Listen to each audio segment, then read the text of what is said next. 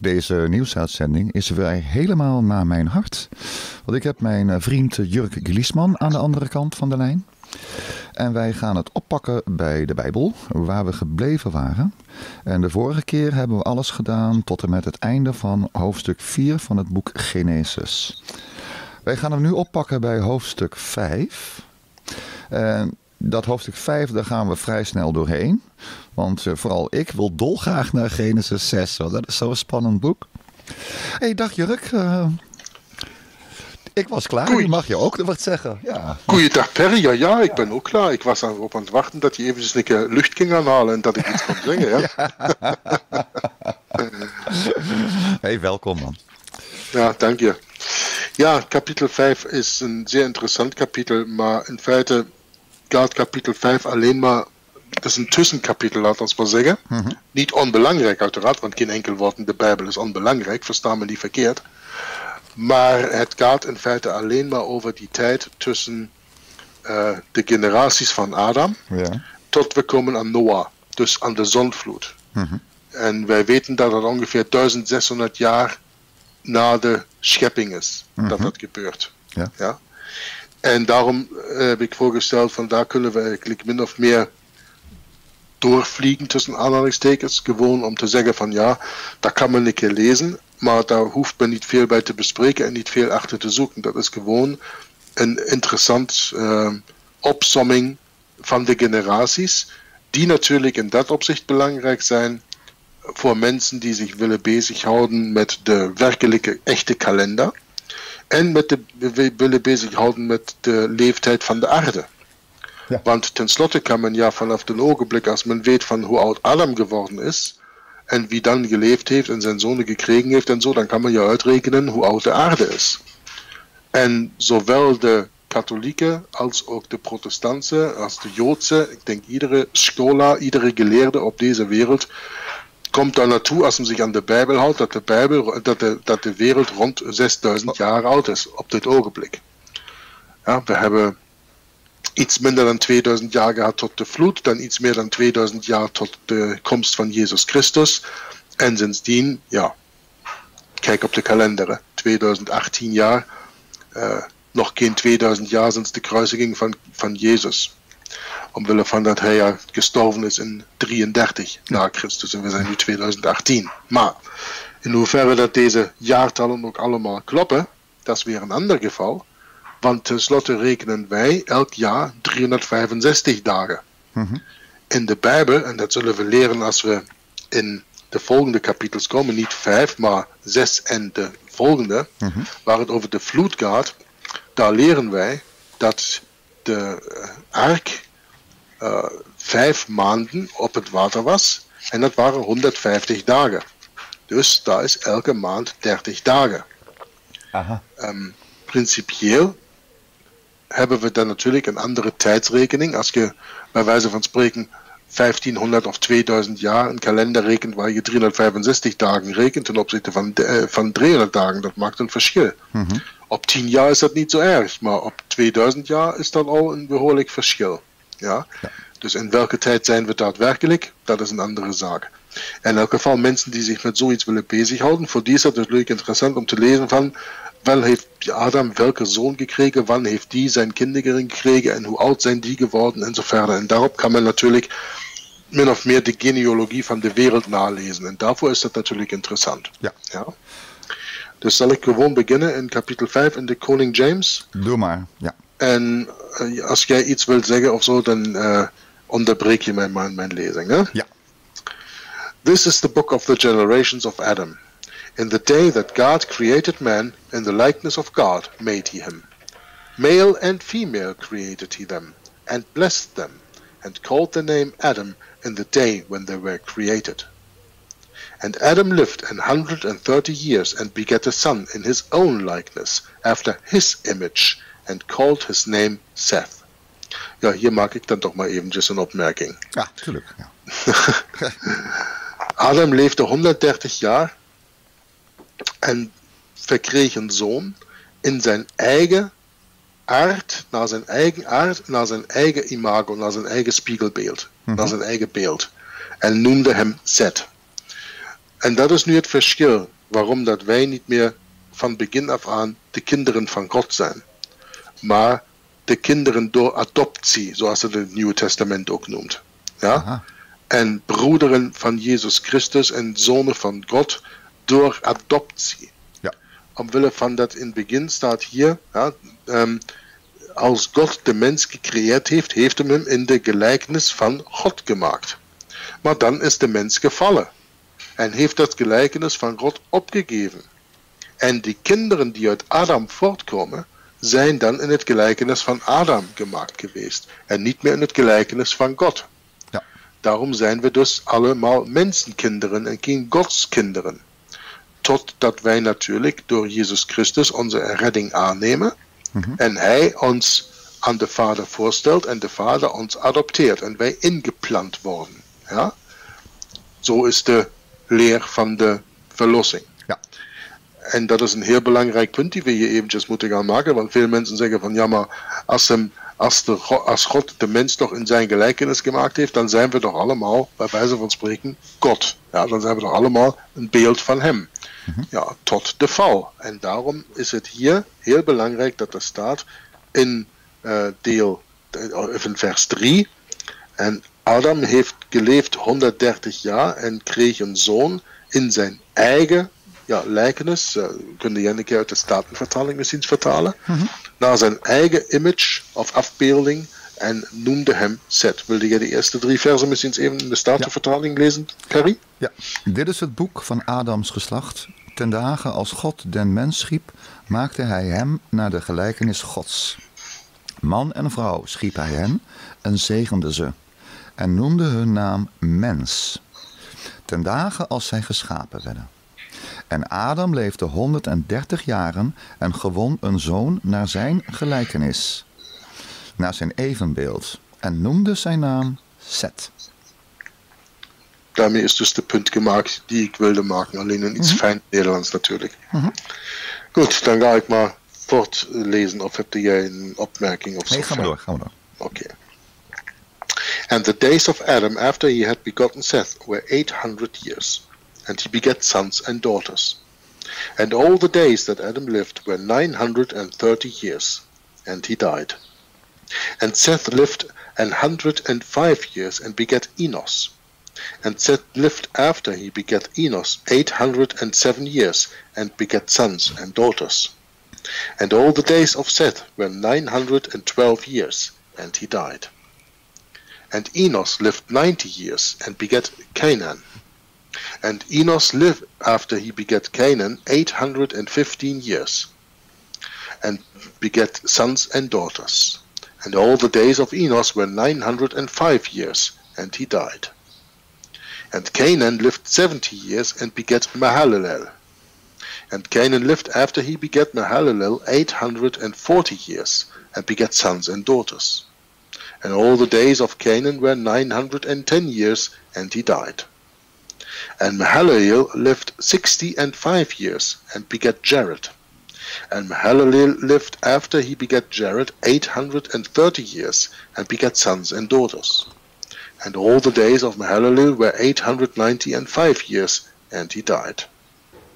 And Jared lived an hundred sixty and two years, and he begat Enoch. And Jared lived after he begat Enoch eight hundred years, and begat sons and daughters. And all the days of Jared were nine hundred and sixty and two years, and he died. And Enoch lived sixty and five years, and begat Methuselah. And Enoch walked with God after he begat Methuselah three hundred years, and begat sons and daughters. And all the days of Enoch were three hundred sixty and five years. And Enoch walked with God, and he was not, for God took him. En hier moeten we ook eens een keer eventjes onderbreken. Zeker omwille van dat wij ook dat boek Rulers of Evil, Heersers van het Kwaad, lezen. Ja, ja. Daar komt in een van de latere ehm, kapitels, daar zijn we nog niet aan toe, ehm, een heel interessant verhaal over Enoch. Want je hebt twee keren Enoch. Je hebt ene keer de Enoch, die komt uit de lijn van Kain, van Kain. Ja. En je hebt een Enoch die komt uit de lijn van Seth. Over die hebben we ja juist hier gelezen. Ja. Deze ehm, verdwijnt op een manier die een beetje moeilijk te verklaren is. Daar is waar het geloof in komt. Je moet gewoon geloven wat in de Bijbel staat. Je kunt niet alles verstaan zoals daarin staat. In het Nieuwe Testament staat dat nog geen enkele mens in de hemel is geweest. Behalve hij die van de hemel gekomen is. Dat is Jezus Christus. Dus veel mensen zeggen van ja, Enos was, Enoch was hier in de hemel opgenomen geweest. Maar dat staat hier niet. Hier staat gewoon, and Enoch walked with God and he was not, for God took him. God heeft hem gehaald. Maar dat wil niet zeggen dat hij in de hemel zit.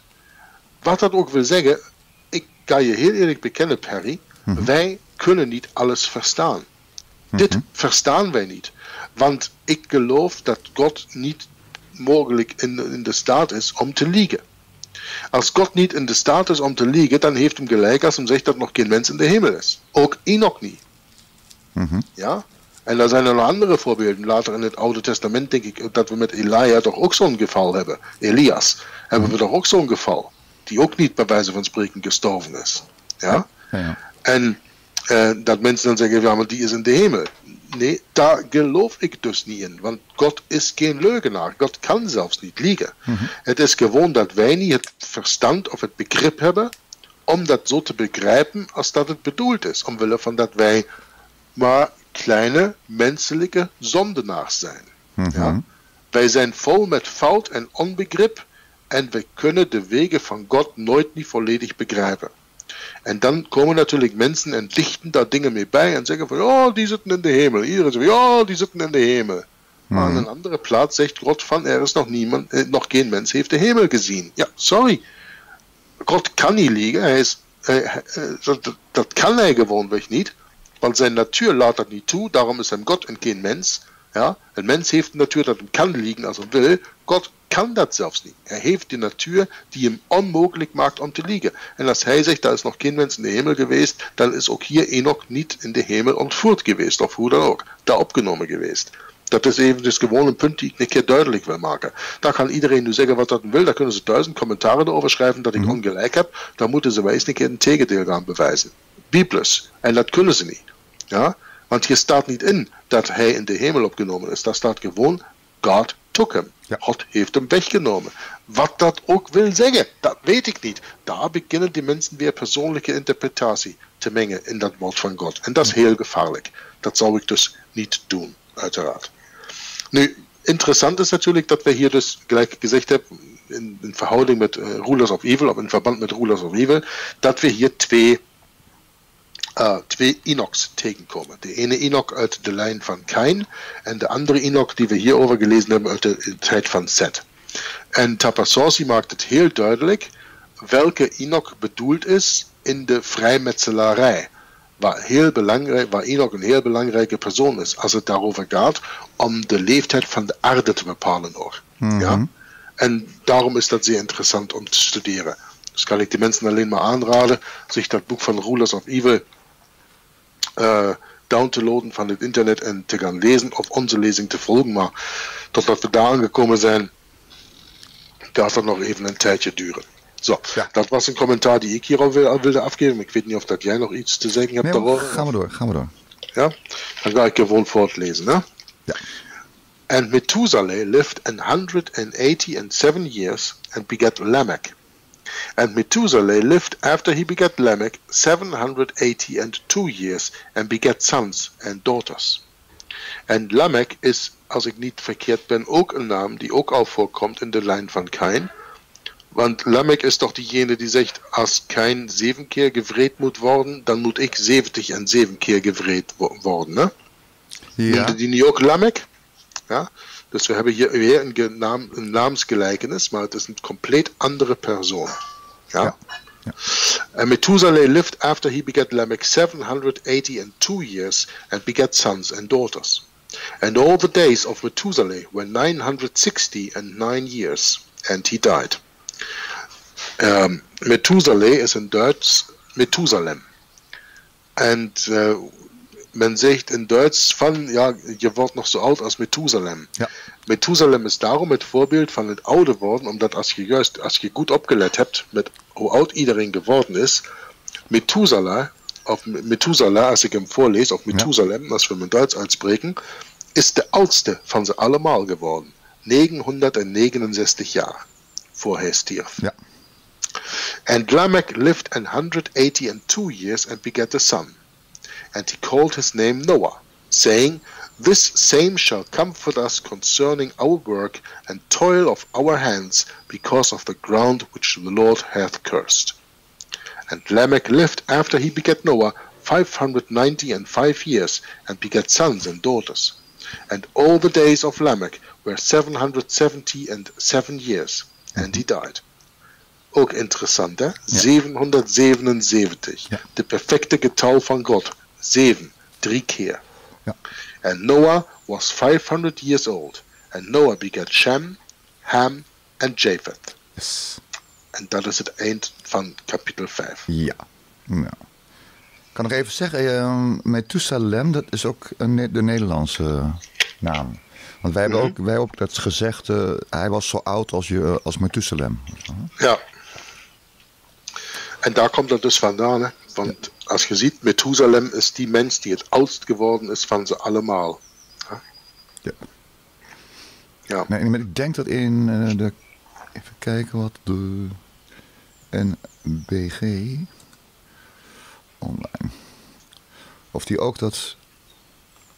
Methuselah. Want hier in de, in de Statenvertaling er staat Me- Methuselah.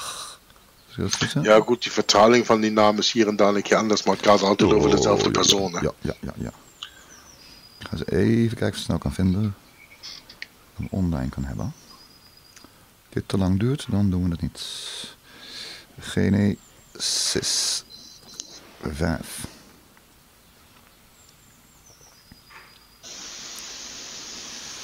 Ja, dan hebben we hier nog. En dan gaan we even kijken welke naam er staat. Hier wordt, want Henoch, er wordt ook wel gesproken over Enoch. Dat weet ik ook wel. Ja, dat is ook een verschillende vertaling. Enos, Henoch en Heno- en Enoch. Ja. Je hebt ja ook nog ehm, dat boek uit de apocryfen van de Bijbel, het boek van Henoch. Ja, ja, ja. Dat is dat boek van hem. Mhm. Maar dat is dus geen geïnspireerde eh, schrift van God. Nee. Anders was het in de Bijbel, hè? maar het hoort niet bij de 66 boeken, het hoort bij de Apocrypha. Ja. En die Apocrypha is eh, hier en daar is interessant om te lezen, zeker als, het over, als je geschiedenis aan de hand van de Bijbel wil studeren. Dan zijn bijvoorbeeld de boeken van de Maccabeas heel interessant. Daar heb je 1 en 2 Maccabeas. Daar gaat het over de tijd waar dat, ehm, eh, hoe noemt hij weer, Antiochus Epiphanes ehm, zwijnen geofferd heeft in de tempel van God in de tijd voor Jezus kwam. Mhm. Dat staat allemaal in de boeken van de Maccabeas onder andere daarin. En daar heb je dan ja, in totaal, ik denk, zeven of acht verschillende boeken die niet in de Bijbel daarin zijn, die dus de apocryfen zijn. Mhm. En deze apocryfen zijn niet deel van de, de, van de geïnspireerde woorden van God en maken dus vandaar geen deel uit van de Bijbel. Maar merkwaardigerwijze zijn enkele van die boeken uiteraard wel in de Bijbel vernoemd. Zoals bijvoorbeeld het boek van Jafar. Dat wordt vernoemd in het Nieuwe Testament. En dat is een boek van de apocryfen. En dat wordt benoemd. Staat niet geschreven in het boek van Jaffa. Zo en zo. Moet je maar een keer uitzoeken. In het Nieuwe Testament staat daarin. Dus dat is niks om bij wijze van spreken het baby met het badwater uit te kieperen. Maar het zijn gewoon geen geïnspireerde woorden van God. Nee. En dat is het grote verschil. Dat wil daarom niet zeggen dat ze bij wijze van spreken schriften zijn of zo. Dat zeg ik niet. Maar het zijn niet geïnspireerde schriften van de Heer. En Yes. dat is het verschil met al die boeken in de Bijbel. Dit zijn die geïnspireerde schriften, het absolute woord van God, wat Hij zelf gezegd heeft. In die apocryfen heb je een mix van menselijke eh, innovatie, laat maar zeggen, en goddelijke ingeving. Maar omdat dat gemixt is met elkaar, heeft God ervoor gezorgd dat het niet in de Bijbel voorkomt. Nu, er waren een paar interessante dingen over die ik eventjes gelezen heb. Bijvoorbeeld die leeftijd van Henoch bedroeg 365 jaar. We hebben daar juist nog gesproken over die 365 dagen per jaar. En die wordt nu quote-unquote, toevallig 365 jaar. Ja? Interessant, hè? Ja, ja, ja, ja, ja. Het zijn zo van die kleine dingen waar man ook niet alles van kan verstaan telkens, maar dat man gewoon zegt van, dat is interessant hier, zeg. Ja. Ja, ja ik weet niet of dat jij nog een deel wilt vertalen, of... eh, Mm, Nee, want ik heb, eh, terwijl jij aan het, eh, in het Engels bezig was, had ik hier de Nederlandse vertaling op het scherm staan. Dus Ah, ja. mensen kunnen dit gewoon meelezen. Zo. dan hebben ze in Nederlands meegelezen Ja. wat ik in Engels voorgelezen heb. Ja. Ja, dan gaan we dus over naar äh, Genesis 6. kapitel 6. Hè? Ja, And it came to pass when men began to multiply on the face of the earth, and daughters were born unto them, that the sons of God saw the daughters of men that they were fair, and they took them wives for all which they chose. Nu, hier gaan we dus een heel belangrijk puntje tegenkomen. Ik weet mhm. niet of dat jij op je computer eSword hebt. Nee. Oké. Ik heb eSword op mijn computer. Ik zou natuurlijk met u nu mijn scherm kunnen gaan delen. En ik weet niet of dat je die dan zou kunnen opnemen. Dan Ja, kunnen die kan, mensen dat dat kan. zien. Ja. Ja? Oké, wacht. Dan ga ik eventjes een keer mijn scherm delen hier. Dat duurt een secondje. Zo, nu zouden we dat moeten zien. Als je nu Skype groot maakt, Ja. dan zie je hier eSword. eSword is een programma dat u bij al die woorden in de Bijbel, zoals je ziet, de originele Hebreeuwse of Arameese woorden geeft. Want het Oude Testament, volgens de Masoretische tekst van de King James, waarop de King James Bijbel gebaseerd is, is geschreven in Hebreeuws of in Aramees. Ja, Ja. bepaalde delen zijn in Aramees, maar het grootste deel is Hebreeuws. En als we dan hier zitten bij Genesis 6, zoals je ziet, dan gaan we hier eens een keer gaan kijken. The sons of God. Wat is de verklaring van een zoon? Kunt u dat lezen op uw scherm? Ja, ik kan meelezen. Oké, prima. A son, as builder of a family name, in the widest sense of literal figurative relationship, including grandson, subject, nation, quality or condition, etc. Dus een zoon, om het een keer heel kort te maken, is een zoon. En dan a son of God. En ehm, dat vind ik interessant als we hier spreken over. waar was dat nu? Waar was ik er eventjes geweest? Weer? Ehm, Zes, zes 2. sons, Ja. the sons and the daughters of Min. Ehm, ja, ik, ik, was, ik had die hele tijd een andere dingen hier. Hier, voilà, in vers 4. The sons of God. En here it is 430, dat is een andere nummer als daarboven. Hè. Daarboven hadden er wij gele- eh, ook 430, maar die verklaring hier is anders. Hier staat, ehm, en dat is belangrijk, plural, gods in the ordinary sense, but specially used in the plural, blah blah blah, of the supreme God occasionally applied by way of deference or to magistrates, and sometimes as a superlative. Angels, exceeding gods, goddess, ex very great, judges and mighty. Mhm. Je ziet, je hebt heel veel verklaringen voor deze zonen van God, die we in de vierde vers gaan lezen. Dus lezen we eventjes een keer door naar de vierde vers. Mhm. Ja, eerst bemerken we eens een keer op in vers 2. The sons of God saw the daughters of men that they were fair, and they took them wives of all which they chose. And the Lord said, My spirit shall not always strive with man, for that he also is flesh. Yet his days shall be an hundred and twenty years. There were giants in the earth in those days, and also after that, when the sons of God came into the daughters of men, and they bare children to them. The same became mighty men, which were of old, men of renown.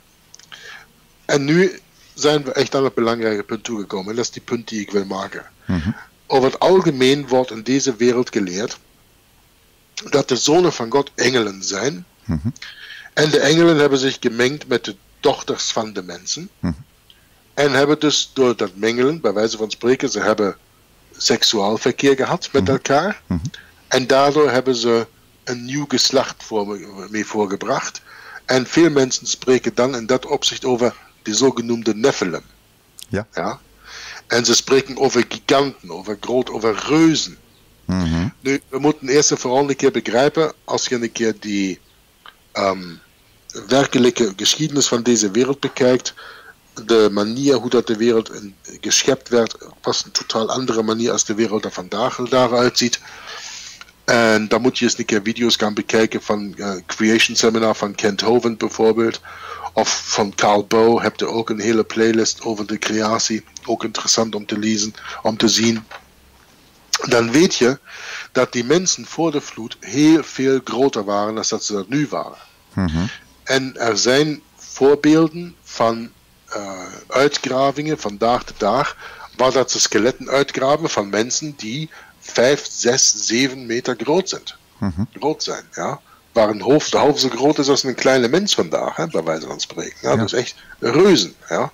Maar dat is omwille van dat de aarde voor de vloed nog ganz anders was als nu. Mhm. Er was namelijk een canapé van water was boven, eh, boven de aarde nog. En deze water heeft natuurlijk de stralen van de zon op een ganz andere manier laten werken als dat nu is, waar deze canapé weg is. Mhm. Je weet ja nu ook, als je onder water zwemt, dan kan de zon op je schijnen, maar je krijgt geen zonnebrand. Ja? Mhm. Maar als je boven het water zwemt, dan krijg je wel een zonnebrand. Mhm. En die kleine waterdruppels werken zelfs als een lens op uw lichaam Mhm. en versterken het zonnelicht. Dus als de hele aarde onder een scherm van water was en de zon daarbuiten, dan kun je misschien inbeelden dat de zonstraling toen een andere was als vandaag. Ja. Veel stralingen die toen afgehouden werden, worden vandaag niet meer afgehouden. Dat zorgt ook daarvoor dat deze aarde vergaat. Mhm. Ja? Ehm, de interessante punt die ik wil maken is van mensen waren groter als wij vandaag. Eh, dieren waren groter als wij vandaag en dinosaurussen zijn maar één voorbeeld. Want dinosaurussen zijn niks anders dan eidechsen. En eidechsen, ik weet niet of dat het juiste Nederlandse woord is, maar het is een Duits woord. Eidechsen zijn beesten die groeien hun hele leven lang. Ja? Oh, Zelfs vandaag nog. Die stoppen niet meer groeien. gaan we even... Maar stel u een keer voor dat je meer zuurstof hebt Mhm. en dat je meer CO2 op deze aarde hebt als vandaag. Veel meer CO2, veel meer zuurstof. Een ganz andere atmosfeer, een ganz andere druk heerste. Ja? En daardoor hebben deze beesten deze enorme uitmetingen kunnen krijgen die wij vandaag in de skeletten in feite terugvinden van dinosaurussen. Ja. Kan je dat woord nog even spellen? Isaac, zei je? Of uh, hoe spel je dat? I- Eh, E-I-D-E-C-H-S-E. I-I-D-I... E-I-D-E-C-H-S-E. Eidechsen. C-H-S-E. Even kijken of Google Translate dat ook weet. Dutch. Ja, kan ik anders zelf nakijken. dat Eidechsen, wilt. nee, ja, nee, dat kan... Nee, dat wordt... Google weet het niet wat het is. Nou, dat zoek ik nog een keer op. Dan kan ik dat de volgende Maar keer dan zoek ik het eventjes op. We hebben hier ook Google Translate bij mij. Wacht eens. Hè. Ja. Gaan we hier Duits-Nederlands nemen. En dan schrijven we eens Eidechsen. Hagedis. Oh. Hagedissen. Ja, dus dinosaurussen zijn in feite van de familie van de Hagedissen. En die groeien ganz hun leven lang. Nou ja, je hebt gezien hoe oud die mensen werden. Ja. Die beesten werden ook redelijk oud. Denk nu maar een keer zo'n hagedis, als die 900 jaar kan groeien, dan Mhm. is die wel een beetje te groot voor een terrarium bij u thuis. Hè? Ja, dat lijkt me wel, ja. Dus de aarde toen was een andere aarde als die aarde die we vandaag de dag kennen. Dat is een punt die we eventjes zouden moeten onthouden. Ja. Interessant om, om zich keer bezig te houden. En dat is niet ik die dat zeg, dat zijn eh, wetenschappers die op basis van de Bijbel hun wetenschappelijke onderzoekingen gedaan hebben, die dat allemaal datzelfde zeggen. Ja? Dus dat is niet Jörg die dat beweert, dat is wetenschappelijk en echte wetenschap onderzocht. Ik heb het dan niet over evolutie, theorie, wetenschappers, maar ik heb het over echte wetenschappers. ja, Mhm. die het woord van God aan de basis ook voor hun onderzoek gaan leggen. Yes. Zijn er spijtig genoeg niet zoveel, maar ja, goed. Dus het punt is, de aarde was toen anders als, als nu. Nu hebben we hier gezien de sons of God. En we zien dat het ook, dat het zegt onder andere engelen, ja, Mhm. maar dat het ook zegt zeer grote judges, Mhm. dat zijn rechters, Mhm. mighty, machtige mensen. Ja? Dus het heeft niet altijd alleen maar te doen met engelen. Het is een kwestie van interpretatie. En nu kan ik u een keer mijn interpretatie geven, Perry. En jij kunt me daar op je kunt daarop invallen, je kunt daar mee akkoord zijn, je kunt daar niet mee akkoord zijn. En ook voor de luisteraars is dat misschien interessant om dat eens een keer op deze manier te gaan bekijken. Mm volgens mij is het absoluut onmogelijk dat een engelwezen uh, seksuaalverkeer met een mens kan hebben. Ja. Want een engel is een geest, is een spirit, ja. is geen mens. Ja? En kan geen geslachtsverkeer met mensen hebben. En kan dus ook geen offspring voortbrengen, dus geen uh, nageslacht voortbrengen mm daaruit. Dus moeten we een keer zien van hoe kan men dan nog interpreteren als in Genesis 6, verse 1 tot 4 geschreven staat, de, zons, de zonen van God en de dochters van de mens. Mm -hmm. Um, hebt u dat beeldje nog altijd open staan van... Uh, van jouw screen, ja, ja. Ja? Ja, oké, okay, goed. Dan laten we dat nog eventjes. Tot het gezegd van hoeft niet meer, dan ga ik mijn screen schermen delen. Uh, mijn, mijn delen stoppen. Um, ja. punt, de punt is het volgende. Um, we hebben in kapitel 5 gelezen over de generaties van Adam. Ja. Het nageslacht van Adam. Ja, zoals jij dat gezegd hebt. -hmm. ja? Was wat nageslacht, hebt u gezegd. Hè? Generations was nageslacht. Hè? Ja, klopt. En we hebben dus gezien dat is een rechtvaardige linie. Waarom is dat een rechtvaardige linie? Omdat uit het einde, in het begin staat Zet als de derde geboren kind van Adam en Eva. Mm -hmm. En op het einde staat Noah. En wij weten, we hebben dat nog nu nog niet gelezen, maar we weten, we kennen de Bijbel ja een beetje, mm -hmm. dat Noah en zijn drie zonen, Shem, Ham en Japheth, samen met hun vrouwen de enige overlevende mensen, met, uh, met, uh, met Noah zijn vrouw, de enige overlevende mensen van de zonvloed waren. Ja. Acht mensen op een boot. Trouwens interessant, hè? Dat, woord, dat woord voor schip in Chinees is uh, acht mensen op een, uh, op, op, op een boot. Hè? Oh ja, oh, wat leuk. Moet je maar een keer opzoeken, dat is interessant. Ja. Um, in elk geval, dat, hier spreken we dus over een rechtvaardige lijn. Nu gaan we eventjes een keer terug, sorry, -hmm. naar kapitel 3 in Genesis, ja. vers 15. En daar lezen we, And I will put enmity between thee and the woman, and between thy seed and her seed. -hmm. It shall bruise thy head, and thou shalt bruise his heel. -hmm. Wij lezen hier dus dat God vijand, vijandschap wil zaaien tussen de vrouw en Satan, -hmm. tussen de zaad van de vrouw en tussen de zaad van Satan.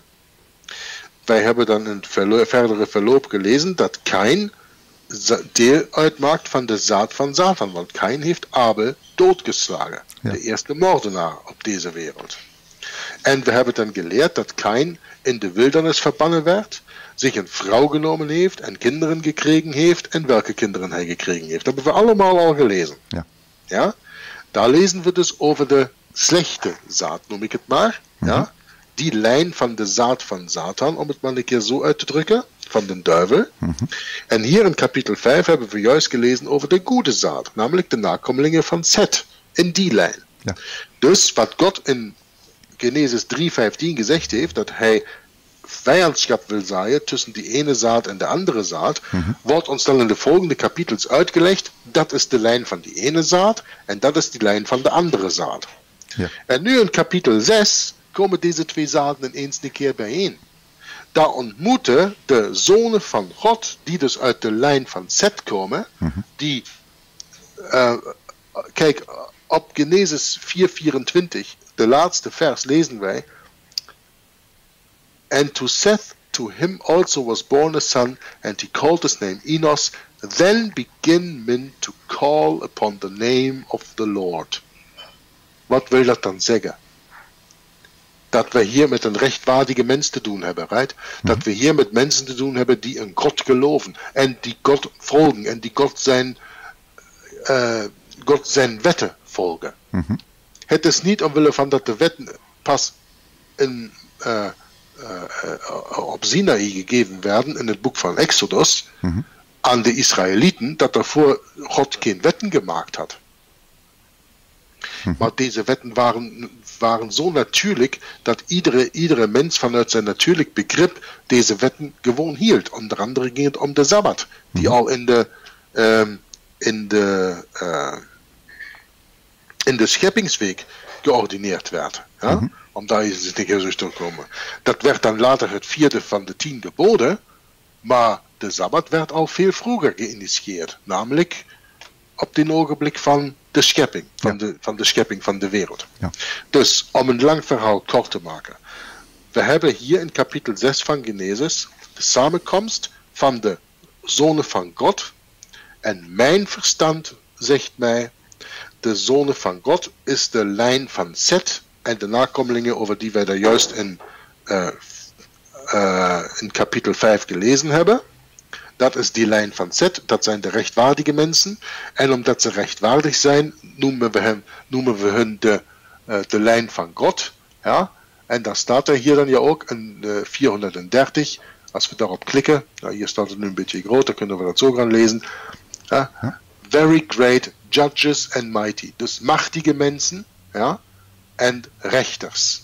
Nou ja, want een rechtvaardige kan toch ook rechter zijn. Een onrechtvaardige kan geen rechter zijn. Mhm. Ja? En macht hebben ze ook. Nu in Engels bestaat er zo'n zo'n spreekwoord. Um, dat is, um, hoe zeggen ze dat weer?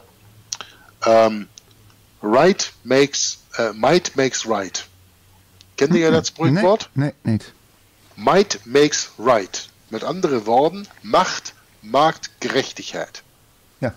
Maar daadwerkelijk moet het noemen, gerechtigheid maakt macht. Right makes might. Jij zijt niet, jij zijt, alleen de, de Bijbelse verklaring is, jij zijt machtig omwille van dat je rechtvaardig bent. Mhm. Je zijt niet rechtvaardig omdat je machtig bent. Mhm, mhm, Maar de duivel houdt daarvan om die dingen om te keren. Ja? En in onze wereld is het ja vaak zo van, uh, right, uh, might makes right, macht maakt u recht. Maar ja, die mensen die de macht hebben, die hebben ook altijd gelijk. Die maken ja ook al die wetten voor ons. Ja? Ja, ja. Je wat ik wil zeggen? Ja, waar, begrijp het waar, ik, op- waar ik op uitga? Ja, goed, prima. Ja, ik weet ja soms niet of dat ik duidelijk ben of dat ik hier maar aan het rondrennen ben of dat niemand mij verstaat. Ik hou het in de gaten. Ja. Oké, dat, is, dat is goed dan. Ehm, en dat wordt dus omgedraaid, waar in feite je, je daardoor machtig bent dat je rechtvaardig bent. Kijk eens een keer naar Jezus. Hoe machtig is die niet? Mhm. Omwille van dat hij rechtvaardig is. De enige rechtvaardige überhaupt in deze wereld is. Ja? Ja. Heel belangrijk. En hier hebben we dus eh, die sons, eh, die sons of God. ehm, in, in deze verhouding moet men dat ja zien. Men moet het ja hier in de samenhang zien. Van dat het hier over gaat in die. There were giants in the earth in those days. And also after that, when the sons of God came into the daughters of men. And they bare children to them. Also, nog eens een keer ter verduidelijking. Voor mij is het heel duidelijk om te verstaan dat de sons of God, die hier bedoeld zijn, de mensen van de rechtvaardige lijn van Zet zijn. En dat wij die de zonen van God noemen, omwille van dat zij rechtvaardig in de ogen van God zijn. Wij hebben het ja onder andere van Enos gelezen. Enoch walked with God and he was not, and for God took him. Ja? En hij waart niet meer en God heeft hem opgenomen. Wat dat ook wil zeggen, dat moeten we zelfs niet verstaan. Maar waarom heeft God dat gedaan? Omdat hij een rechtvaardige mens was. Een rechtschapen mens was. Zo, en dan heb je de dochters van de mens.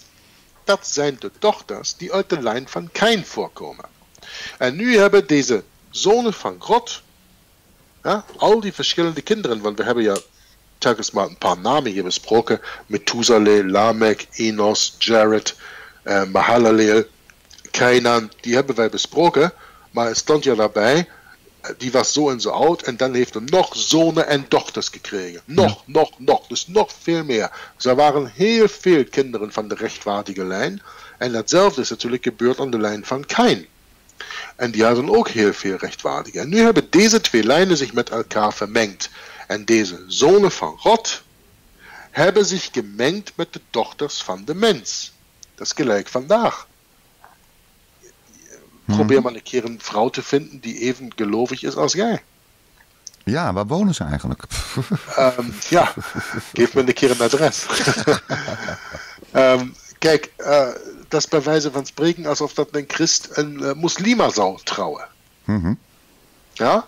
Dan heb je geen christ, een, laat ons zeggen een rechtschapen mens, een mens Mhm. die een, een, uit, de, uit de lichaam van Christus is, die dan gaat trouwen met een vrouw die niet vandaar komt. En de Bijbel is ja later vol met voorbeelden daarvan. Salomon had weet ik veel hoeveel vrouwen. David had verschillende vrouwen die ook niet allemaal rechtschapen waren. De Israëlieten hebben zich ja vaak ook gemengd met vrouwen uit de heidense volkeren. Ja. Ja? Dus de Bijbel is later nog vol met, eh, excessief vol met voorbeelden daarvan. Maar hier gaat het ook, volgens mijn verstand, volgens mijn begrip van de Bijbel, precies daarover. Want dat volgende woord dat wij gaan, moeten gaan bekijken, is het woord giants.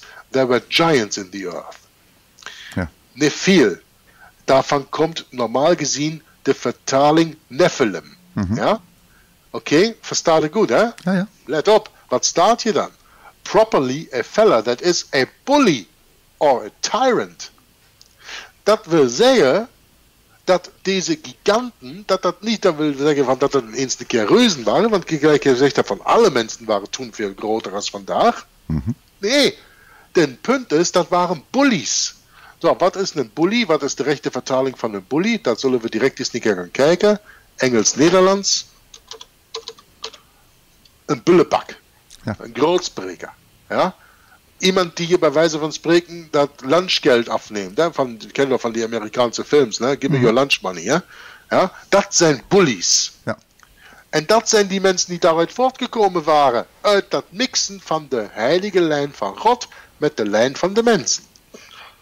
Zo simpel kan de Bijbel zijn. Ja. Dat wil niet zeggen dat deze Nephil, daarvan wordt over het algemeen dan Nephilim gemaakt. Ja, je ziet het hier staan, Nephil, Ja. Nephil, Nephil, daar wordt Nephilim van gemaakt. En dat zijn buitenaardse wezens. Dat is totaal uit de lucht gegrepen. Ja. Daar is in de ganze Bijbel niet ene keer sprake van leven, eh, buitenaards leven, buiten de gevallen engelen, die samen met de duivel uit de hemel verbannen werden naar de aarde. Mhm. Die zich natuurlijk door wat wij de wereldruimte noemen, space noemen, bij wijze van spreken, waarschijnlijk wel bewegen kunnen. Dat wil ik niet afnemen. Dus daar is buitenaards leven als je, als je die demonen, die gevallen engelen, die samen met Lucifer uit de hemel verbannen werden, als je die als buitenaards leven wilt noemen, dan is er buitenaards leven. Anders komt er in de ganze Bijbel geen buitenaards leven voor. Ja? Dus waar halen die mensen ineens dat verhaal van die Nephilim vandaan? Van buitenaardse wezens. Ja, ja. Omwille van dat ze het woord van God mixen met het woord van de duivel. Ja. Met de leugens van de duivel. Ja. Ja? Want de hele alien agenda is ja iets wat van de duivel komt. Dat- Was ik zover duidelijk tot hiertoe? Ja, totaal. Nee, als ik even wat mag zeggen. ehm, het eerste wat ik ervan gelezen heb, dat is het boek van Erich van Deniken. Ja, ja, ja. Die vrijmetselaar. Waren de goden cosmonauten? Mhm. En dan zie je dan eh, bewijsmateriaal en het zijn wat zwart-wit foto's van, ja, ik weet niet wat. En dan zegt hier iemand, kijk eens, dat was de landingsbaan waarmee ze dan met de Space Shuttle eh, van Alpha Centauri kwamen of zo. Terwijl ik zie alleen maar een gleuf door, eh, ja, weet ik veel wat. Iemand heeft daar een gleuf gemaakt. Of het is een natuurlijk verschijnsel. Ja. Dat je ergens een lijn ziet en dan moet denken... hé, hey, dat was het Schiphol van die tijd. Dan denk ik, ja, Schiphol, ja. ja, Erich van Deniken is een jezuïet gecontroleerde vrijmetselaar. Dus daar Ja, moeten we ja, ja. we gaan beginnen. Hè? Dus, eh, maar Ik heb die zijn boek het als kind weet. ook gelezen. Ja, ja, ja, ja. Ik heb het Ik hier heb in de kast kind- staan. Ja, ik heb die zijn boek als kind ook gelezen. Ik heb ze niet meer, maar ehm, ik weet dat je die gelezen hebt, omdat me dat interesseerde. Dingen gelijk de piramiden en zo, dat fascineert de mens natuurlijk. Hè? Vandaag de dag nog. Hè? Mensen hebben over het algemeen geen idee waar die piramiden vandaan komen. Ik weet niet of dat de piramiden voor de zonvloed ontstaan zijn of na de zonvloed. Maar uiteindelijk, als je ziet, de Sphinx heeft heel veel ehm, Waterschade. af, ja, afkervingen, waterschade daarin. In feite, dat je zou kunnen zeggen, dat zou in feite van voor de vloed kunnen zijn. Weet ik niet, daar wil ik mij niet over uitlaten. Eh, in elk geval had de mens zonder uh, buitenaards toedoen um, mogelijkheden uh, dingen te doen die hem vandaag de dag niet meer heeft. Want wij worden niet altijd maar slimmer en beter, we worden altijd maar erger en slechter en minder goed.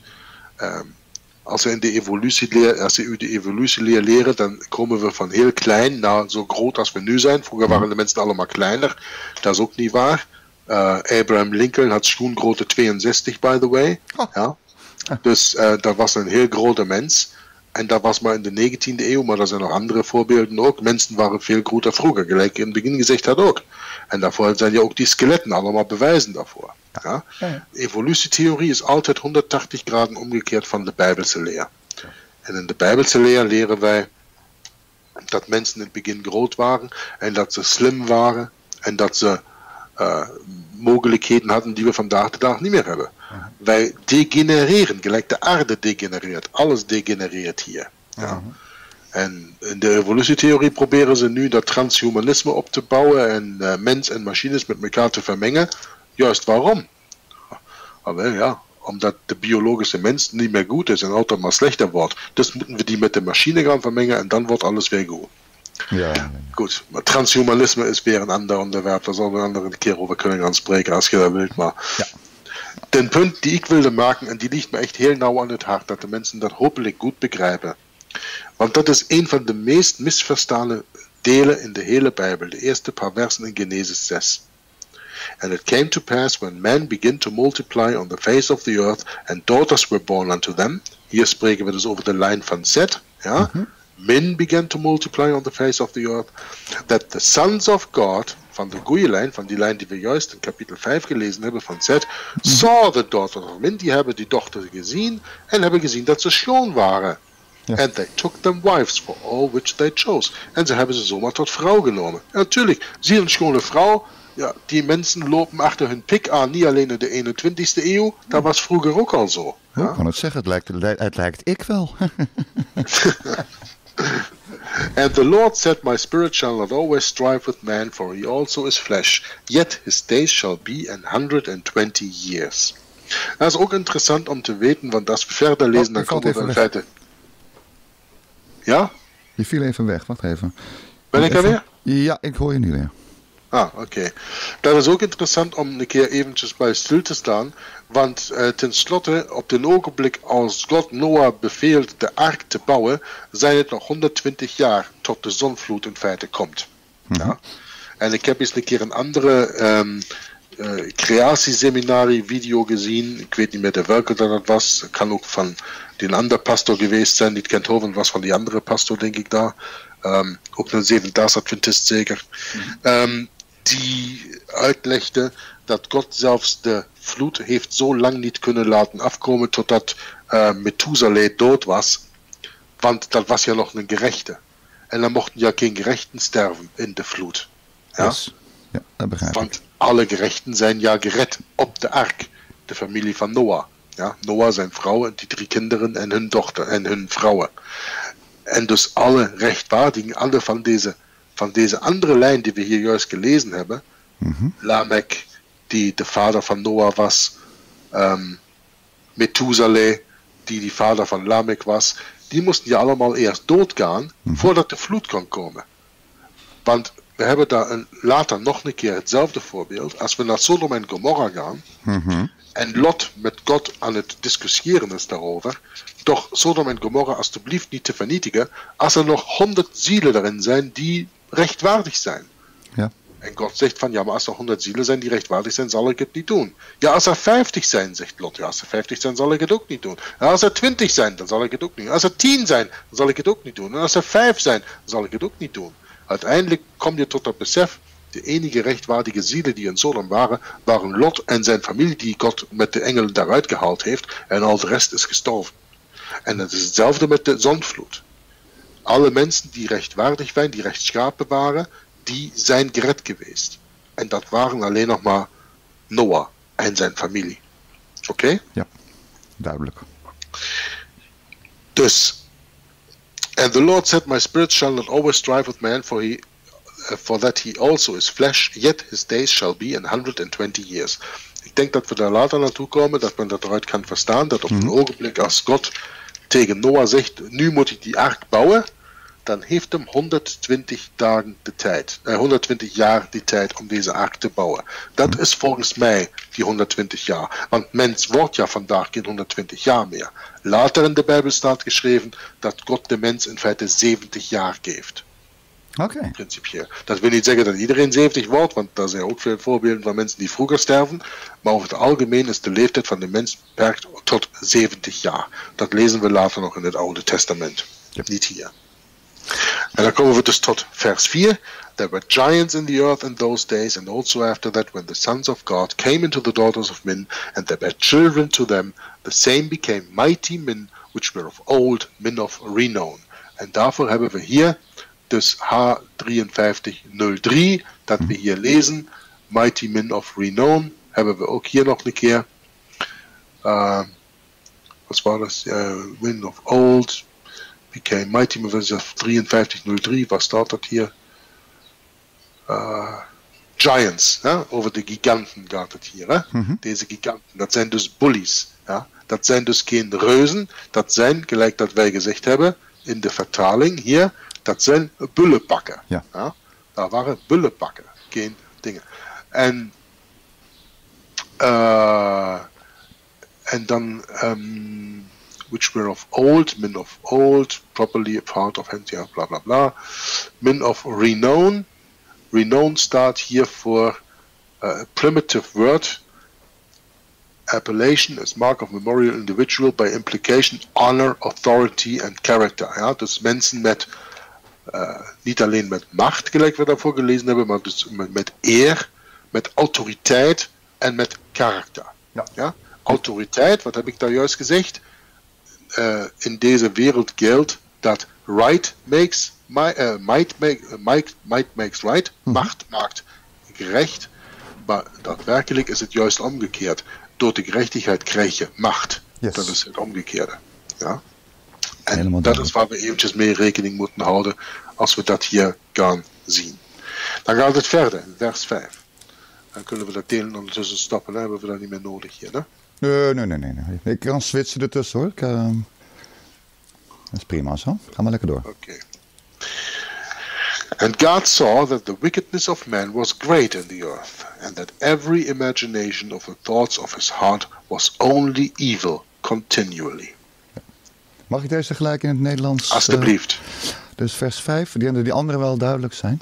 Die vers 5, daar staat in, het, in de Statenvertaling. En de Heere, dus God, zag dat de boosheid des mensen menigvuldig was op de aarde. En al het gedichtsel der gedachten zijns harten te, te alle dagen alleenlijk boos was. Dus het gedichtsel der gedachten zijns harten, zijn staat met een kleine letter z. Dus het gaat over de, die mensen die zich vermenigvuldigd hadden op de aarde. Het gaat over van dat het hart van begin af aan in feite van de mens slecht is. Ja. Omdat het ingegeven is met uh, de, uh, de kennis van goed en kwaad. Ja. En zo werd hij niet geschapen. De mens werd geschapen alleen maar met de kennis van goed. Maar door de verleiding van de duivel heeft hij gezegd van jij zult dan goed en kwaad kennen. Dus je zult zijn als groot, goed en kwaad kennen. Daar is de mens niet voor gemaakt. En daarom is dat hart van de mens altijd kwaad. Totdat God komt en ons hart aan het besnijden is. Ons hart besnijdt. Ja. En dan kunnen wij beter worden. Alleen zo. Maar alleen door God, niet door onszelf. Van onszelf uit is ons eigen hart is altijd slecht. Ja. Toen al geweest en vandaag de dag nog altijd. And it repented the Lord that he had made man on the earth, and it grieved him at his heart. And the Lord said, I will destroy man whom I have created from the face of the earth, both man and beast, and the creeping thing, and the fowls of the air, for it repenteth me that I have made them. But Noah found grace in the eyes of the Lord. Ja. Even op zijn Nederlands, vers 7 we hebben opgepakt, hè? Nee, vers 6. Toen berouwde het den Heere, met hoofdletters, dat hij den mens op de aarde gemaakt had. En het smartte hem, met een hoofdletter H, aan zijn hart, met een hoofdletter Z. En de Heere zeide, dat God weer, ik zal den mens, dien ik geschapen heb, verdelgen van den aardbodem, van den mens tot het vee, tot het kruipend gedierte en tot het gevogelte des hemels toe. Want het berouwt mij dat ik hem hen gemaakt heb. Maar Noach vond genade in de ogen des Heren. Ja. Nou, dat is denk ik heel duidelijk. Toch? Ja, denk ik eigenlijk ook, ja. Ja, dat is te begrijpen. Nou, pak hem maar door. Vers 9. Ja, nee, we zijn dan een klein uurtje aangekomen, Perry. Ik zou voorstellen dat we het hierbij belaten en dat we Oh, hier volgende keer verder gaan. Ja. Het was toch redelijk intensief wat wij gelezen hebben en dat Ja. is een goed stuk om hier een break te maken. Ja. En dan volgende keer met de generaties van Noah verder te gaan. Ja, dat is een mooie cliffhanger. Maar Ja. Noach vond genade in de ogen des Heren. Dus dan wil iedereen eh, weten hoe het dan afloopt. dat is een goeie. Hey, hartstikke bedankt, eh, Jurk. Wil jij nog iets ter afsluiting zeggen? Of zal ik een afronding houden? Nee, doe er jij maar een afronding, Perry. Ik heb alles gezegd wat nodig is. Ik vind alleen dat de mensen eens een keer moeten gaan, ehm, eerst en vooral de Bijbel zelf gaan studeren, zonder de hulp van enige hulp van buitenaf. En dat als ze de juiste, correcte Bijbel hebben, Ja. dan gaan ze ook altijd door de Heilige Geest geleid, geleid worden in alle waarheid. Ja. En dan gaan ze herkennen dat het onmogelijk is voor engelen om kinderen te maken met vrouwen. En dan gaan ze dat doorzien en dan gaan ze het begrijpen. En dan heb je gezien dat er verschillende be- beschrijvingen zijn ehm, van hoe dat men die woorden in het Oude Testament eh, zonen van God kan vertalen. Men kan heel goed verstaan dat het rechtvaardige rechters waren, mensen met macht en autoriteit, gelijk dat wij gelezen hadden. Ja? Dat het niet altijd hoeven engelen te zijn. Nee. Dat is een verklaring die volgens mij ook absoluut geen zin geeft dat het engelen zijn. En ten punt is, ene keer je dat verstaan hebt, maakt ook alles veel meer zin. Ja. Ja. Dat hele verhaal maakt veel meer zin. Als het erover gaat dat we weten van, ah oké, dat waren mensen rechtvaardig en die hebben zich met de onrechtvaardige lijn gemengd en daaruit kwam voor, ja, heel zotte dingen. En Jezus zegt ja later zelf, ehm, als hem aangesproken wordt op zijn terugkomst, dat het zal zijn zoals in de dagen van Noah. En op een ander moment zegt hij dat het zo zal zijn als in de dagen van Sodom en Gomorra. Dus we zijn nog lang niet zo erg in deze aarde als het toen in de tijd van Noah was. Alhoewel dat het volgens mij toch vreed erg aan het worden, eh, beg- eh, beginnen aan het worden is. Dat Dus- kan je stellen, ja. En dus ik wil graag daarmee sluiten dat ik die mensen graag wil aanzetten om hun eigen studies te doen. Eerst en vooral de Bijbel te lezen. En de Bijbel met verstand en begrip en met een open hart te gaan lezen. En dan zal de Heilige Geest iedereen openbaren de wijsheid die hun misschien tot dan verborgen gebleven is. Yes. Bedankt voor de uitnodiging, Perry, voor de lezing vandaag. En ik zal zeggen tot de volgende keer. Maranatha. Ja. Nou, Jurk, jij hartstikke bedankt voor uw prachtige en duidelijke uitleg. En tegen de kijkeraars eh, zeg ik nou altijd op zijn hamburgers. Tjus. En dag lievers.